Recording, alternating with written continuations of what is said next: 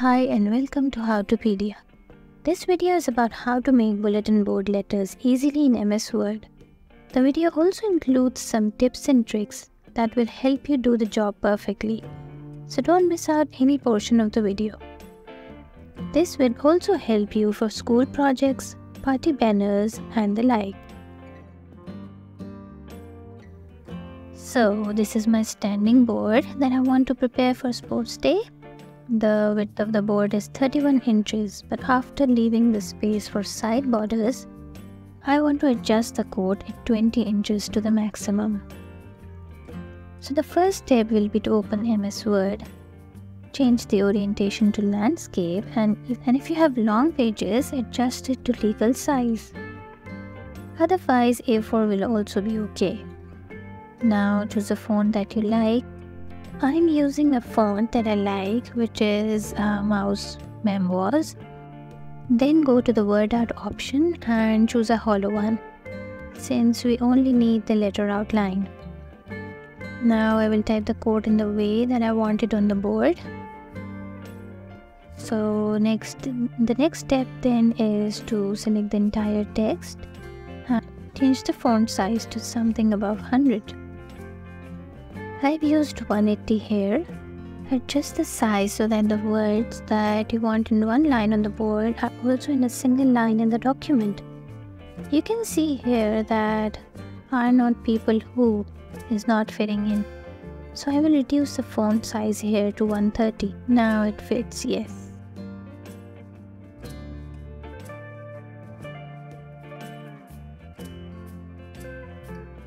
So the next step now is to open the snipping tool, select new and select one line. My first line is winners so I will select that and snipping tool will automatically open it in a new window. So I'll press Ctrl C to copy it and open MS Excel blank workbook. Press Ctrl V to paste it in the first cell of MS Excel. Now, as I told you earlier, I want the code to be of 20 inches, but I want winner word to be the center of the board. So I will go to the size panel and change the width to be of 15 inches and the height to be of 3 inch.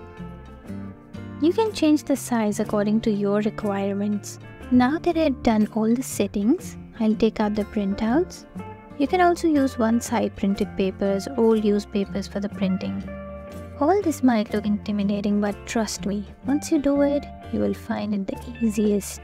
Now if you want complete words, that is you do not want each letter separately, then cut them together like shown and follow the same process that I show of individual letters.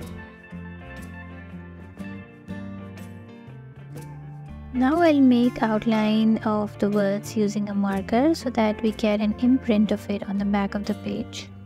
Make sure to use a good marker for the purpose since you need the impression on the back of the page. Now if you want separate letters like I have done, then you roughly cut each one of them and if you want complete words, then cut them together. Now that we have cut our letters, the next step is to stick them on the card sheet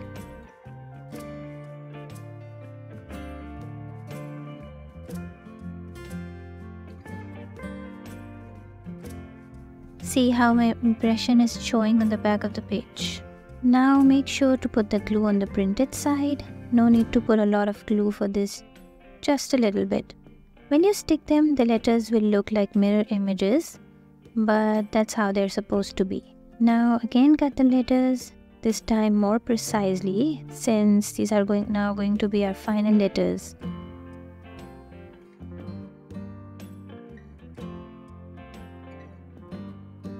All this is really easy when you start doing it. And there won't be any size related errors when you put up your boards if you follow this correctly.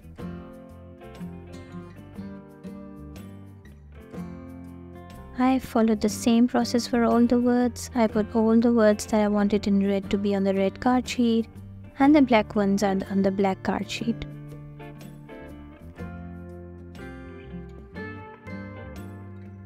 And there you have it. I checked on the floor if everything was fine and then put it up on the board and it looked just perfect. Let me know if you have any questions regarding this and I will be glad to help you.